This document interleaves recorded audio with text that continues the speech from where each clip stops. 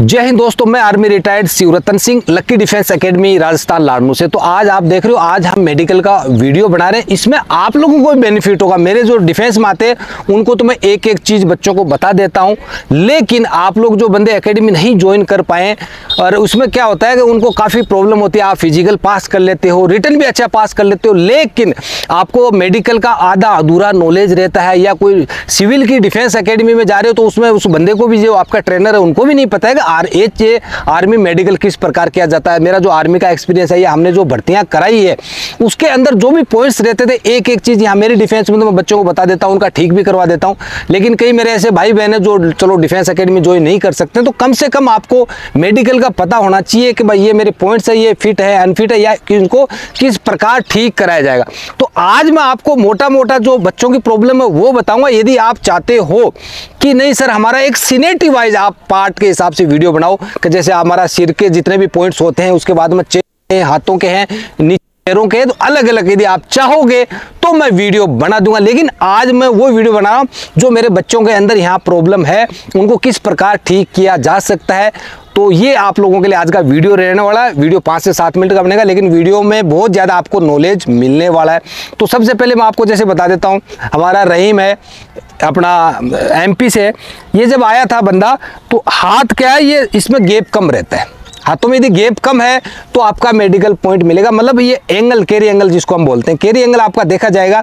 इसके अंदर स्केल भी होती है। स्केल के द्वारा भी हम चेक कर सकते हैं। लेकिन मैं बिना स्केल के चेक करके बता देता हूँ कि जैसे यदि आपके हाथ ये चिपक रहे हैं तो बेटा आपका इसमें मेडिकल पॉइंट रहेगा। कुछ आपका खड़ा होने का तरीका भी रहता है। ये मैं आपको पर्सनली बता रहा हूँ कि आप लोग ऐसे हाथों को बिल्कुल ऐसे कर लेते हो, जबकि आप गैप नहीं रहते हुए भी आप गैप उसके अंदर दे देते हो। तो इस प्रकार नहीं रहना। कंधों को पूरा चौड़ा रखना है और आपका जितना गैप है, उस हिसाब से आपको दोनों हथेलियाँ सामने की तरफ़ दिखानी है इसके अंदर गैप रहना चाहिए, हाथ सीधा होना चाहिए। तो इस प्रकार का फिर भी यदि कोई है आपके हाथ चिपकते तो ये आप पुशअप्स मार सकते हो, लेकिन देख रेख के अंदर। यहाँ मैं बच्चों को बताता हूँ, जो भी पुशअप्स वगैरह बताता हूँ, लेकिन वो देख रेख में हर सातवें दिन बच्चे चेक कराते हैं कि भाई कहीं अप डाउन तो नहीं हो रहा, या ज़्यादा कोई साइड इफ़ेक्ट तो नहीं हो रहा इस चीज़ का। तो या एक्सरसाइज के द्वारा भी ठीक कराया जाता है, या कोई ऑपरेशन वगैरह, उससे भी बच्चों का ठीक कराया जाता है। डिपेंड करता है कि आपकी मेडिकल पॉइंट किस प्रकार की है, मेडिकल इश्यू आपका क्या है।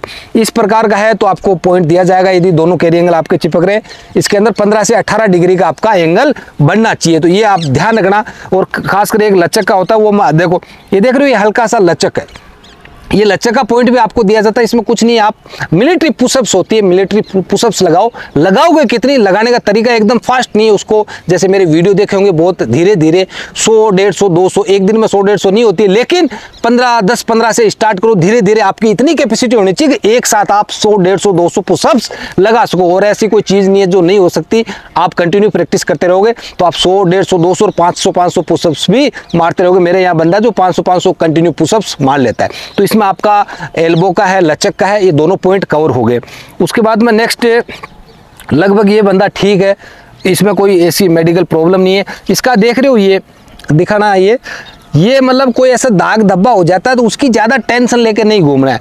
जैसे कोई चोट लगी है, मोटरसाइकिल से हल्का फुल्का गिर गया है या कोई आपको इंजेक्शन लगा दिया है या कोई चाय गिर गई है, ये यदि कोई माइनर पॉइंट माइनर प्रॉब्लम है तो आपको मेडिकल अनफिट नहीं किया जाएगा। इसकी आप फालतू की टेंशन लेके नहीं बैठना। बाकी लगभग बच्चा फिट है।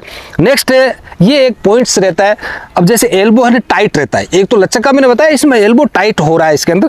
टाइट हो रहा है तो अब इसका हम क्या करें? काफ़ी बंदा इसका क्या ऑपरेशन ऑपरेशन नहीं कर सकते। ऑपरेशन करा दिया तो दोनों हाथ खराब है और फौज वैसे आपको अनफिट कर देगी। तो मैं अपना एक्सपीरियंस बता रहा हूँ, आप करके देखो। और मैं हंड्रेड बोलता हूँ, इसमें आपको सफलता मिलेगी और सफलता मिली है मेरे डिफेंस में बच्चों को। ये आप अपना फालतू का दिमाग मत लगाओ, जितना मैं बोल रहा हूँ, आप उतना कर लेते हो तो आपको हंड्रेड उसमें सफलता मिल जाएगी। तो ये आपका जो एल्बो है, इसको आप अपने कंधे मतलब दूसरे बंदे के कंधे पर रख। आप इसको धीरे धीरे इधर नीचे की तरफ़ आपको प्रेस करना ये। अब उस, ये नहीं है कि एक दिन में आप ठीक करने की कोशिश में बंदे का हाथ तोड़ के बैठ ये मैं पहले ही बता रहा हूँ, आपका कोई अच्छा दोस्त है, समझदार बंदा है, उसके पास ही या कोई अच्छा नॉलेज वाला है, उसको धीरे धीरे इस प्रकार आपको ये उठाना तो इससे भी महीना, दो महीना जितनी प्रॉब्लम है, उस हिसाब से और आप कितनी प्रैक्टिस करते हो। मेरे हिसाब से 10 मिनट सुबह 10 मिनट दोपहर में और 10 मिनट शाम को, यानी आधा घंटा एक दिन भी दोगे तो आपके ये जो एल्बो वाली प्रॉब्लम है, जो टाइट हो रखा है, ये आपका कुछ पुरानी अवस्था में आ जाएगा मतलब ठीक होने की अवस्था में आ जाएगा। आप इस प्रकार की प्रैक्टिस कर सकते हो। नेक्स्ट है अपना नौकरी नोकनी का दिखाना। नोकनी की काफ़ी बंदों को समस्या रहती है, लेकिन थोड़ा सा क्या टेक्निक आपको अपनानी पड़ेगी। देखो, वहाँ चीज़ है कि आपको थोड़ा बहुत अपना थोड़ी बहुत होशियारी, आपको ज़्यादा होशियारी तो काम भी नहीं आती है फौजी बंदों को देख लेंगे। लेकिन थोड़ी बहुत आप अपनी टेक्निक के द्वारा, इसमें क्या हल्का सा आपको, जैसे आपके यदि कोई नौकरी टच हो रहा है, घुटना टच हो रहा है तो उसमें हल्का सा इस हिसाब से प्रैक्टिस करो कि थोड़ा सा उसको गेप हो जाएगी स्केल निकलेगी। ये आपको प्रैक्टिस प्रैक्टिस प्रैक्टिस प्रैक्टिस करते रहोगे तो इसमें आपको ज़रूर सफलता मिलेगी। इसमें आपको एडी से एडी मिली होगी। दूसरा आपका उठक बैठक का मैंने बता रखा है, यदि नोकनी है तो आप दोनों पैरों को खोलो खोलो इसको, खोलो। एडी से एडी मिला लो। नीचे पूछो उठ उठक बेटा मारो। यदि किसी को है तो आप इस प्रकार उठक बैठक मारो। एक महीने के अंदर आपका रिज़ल्ट आ जाएगा। यदि किसी बच्चे को नोकनी की प्रॉब्लम है या आप पिल्लो वगैरह लगा के, दो फर्म पिल्लो लगा के तोलिया से रस्सी से नहीं बांधना। रस्सी से बांधोगे तो ब्लड सर्कुलेशन आपका रुक जाएगा। तोलिया यहाँ बाँध के आप तोलिया मतलब यहाँ तोलिया लगा के या पिल्लो लगा के तोलिया से आप पैर बाँध लोगे। दो फर में दो तीन घंटा बाँध लेना। नहीं पूरी रात आप कर रहे हो तो पैरों में दर्द वगैरह हो जाएगा। तो ये देख रेख के अंदर ही करना है। तो नौकरी की यदि कोई समस्या है तो आपको इस प्रकार उठक बैठक या पिल्लो नीचे लगा के आप प्रैक्टिस कर सकते हो। ये देख रहे हो, बंदे के काफ़ी प्रॉब्लम थी। यदि कोई दूसरी डिफेंस में जाता तो उसको ये बोलते कि भाई तू अनफिट है या तू अपना सिविल में सर्जरी कराओ। लेकिन इस बंदे का पहले इतना ऊपर उठा हुआ था। ऊपर ओनली एक्सरसाइज से। ये हो सकता है गलत पुशअप्स मारने से या कुछ हमारे हार्मोन्स अविकसित होने से या अप डाउन होने की वजह से भी हो सकता है। काफ़ी बंदों की प्रॉब्लम आती है। अभी देख रहे हो 99 परसेंट बंदे का ठीक है। 99 परसेंट बंदे का ओनली पुशअप्स मार के यही वो बंदा है जो 500 500 पुशअप रेगुलर लगा लेता है। इतनी मतलब अच्छी प्रैक्टिस करा है और एक साल के आसपास इसको बंदे को हो गया। मेहनत भी अच्छी कर है। रनिंग का भी शायद इसने आपने वीडियो देखा होगा कि भाई इसका रनिंग चार, पैंतालीस, फिर दूसरा वीडियो दूसरे दिन कराया था फोर आ गया था।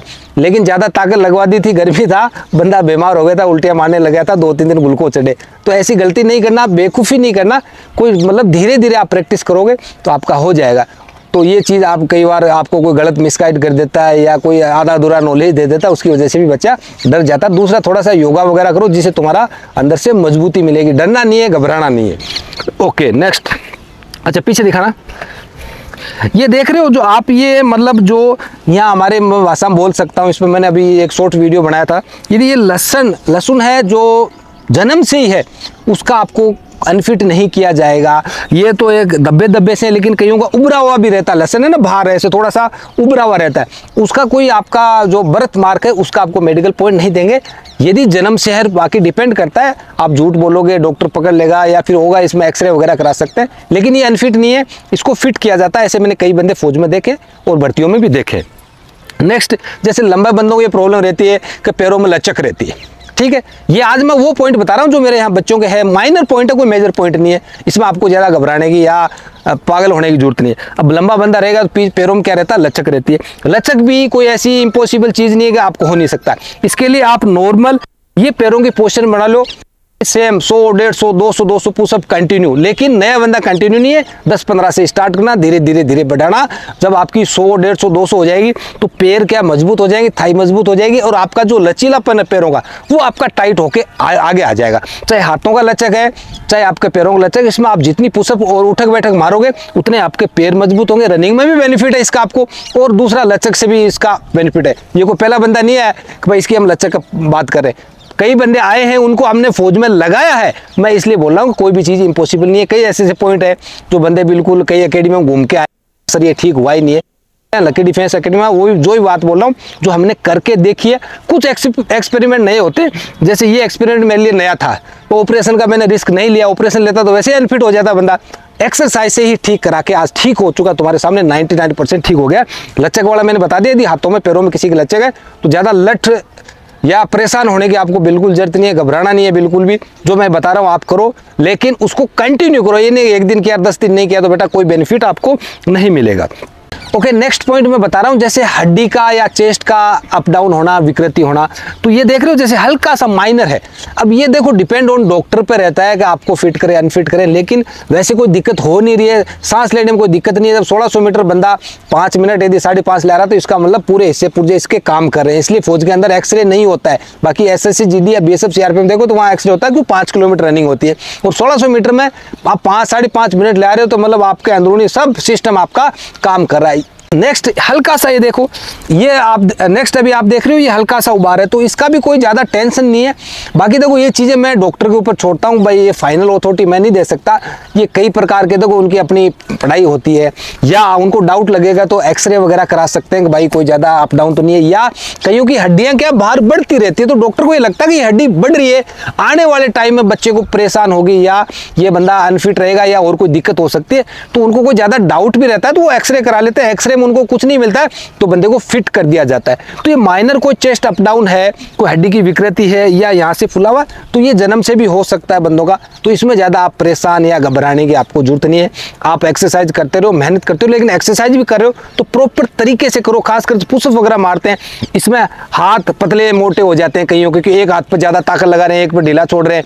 चेस्ट जैसे उबड़ खाबड़ ज़मीन है, वहाँ पुशअप्स मार रहे हैं तो आपका चेस्ट अप डाउन हो जाता है, या कोई डायमंड पुशअप मारा अलग अलग तरीके से तो वीडियो देख के आप लोग करते रहते हो।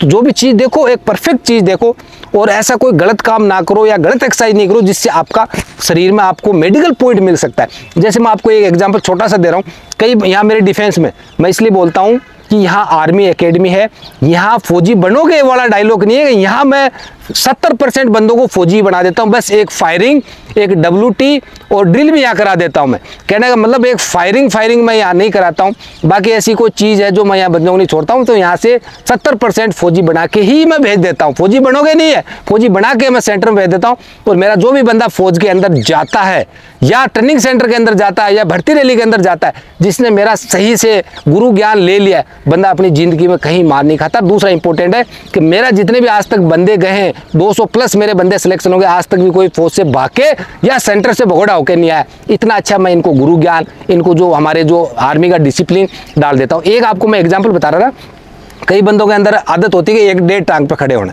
ये मतलब एक पैर फोल्ड कर लिया, एक पे ये बेटा फौज के अंदर बड़ा अनडिसिप्लिन सा लगता है। यहाँ मेरे डिफेंस में चाहे मैं फ़िज़िकल करा रहा हूँ, चाहे क्लास ले रहा हूँ या और भी इनसे मिल रहा हूँ, डेढ़ टांग पे मेरा। डेढ़ टांग से क्या होता है, आप लोग वहाँ खड़े रहते हो, खासकर भर्ती रैली के अंदर, या आपका मेडिकल हो रहा है तो एक जब मैं गलत सोच सकता हूँ तो हमारी सब फौजियों की एक जैसी ही सोच होती है। तो आपको वो देखेगा, यार, ये बंदा एक टांग पे खड़ा है मतलब दोनों पैरों पर खड़ा नहीं हो सकता तो ये फौज में क्या करेगा? ये हमारी एक मानसिकता रहती है। तो ऐसी छोटी छोटी गलतियाँ आप ना करें, जो मैं बातें बोलता हूँ। यदि आप लोगों ने ग्रहण कर ली अच्छी चीज़ें तो आप लोग 100 परसेंट सिलेक्शन भी दोगे और आपको किसी प्रकार की दिक्कत भी नहीं आएगी। आप लोग अपना ऐसे ही प्यार देते रहना। आपको यदि और कोई मेडिकल प्रॉब्लम है तो आप कमेंट सेक्शन में जाके कमेंट्स करिएगा, सर, हमारे को ये प्रॉब्लम है। और दूसरा, आप मेरे को व्हाट्सअप पर भी आप मेरे को फ़ोटो भेज सकते हो। यदि मैं बोलता हूँ, इसमें भाई फ़ोटो भेज दो तो आप उसमें फ़ोटो भेज देना मेरे व्हाट्सअप नंबर पर कोई आप होगा या फिर हम बातचीत करके भी आपको मैं सुझाव दे सकता हूँ। इतनी कोई डरने की या घबराने की ज़रूरत नहीं आप लोग अपना ऐसे ही प्यार देते रहना। जिस भाई ने अभी तक मेरे चैनल लक्की डिफेंस अकेडमी को सब्सक्राइब नहीं किया प्लीज़ सब्सक्राइब कर लेना, जिससे आपको और भी बेनिफिट मिलेगा। और आप लोग जिनके कोई प्रॉब्लम नहीं है, वो कमेंट्स में जय हिंद ज़रूर लिखेंगे। आपका दोस्त युवतन सिंह, जय हिंद, जय भारत।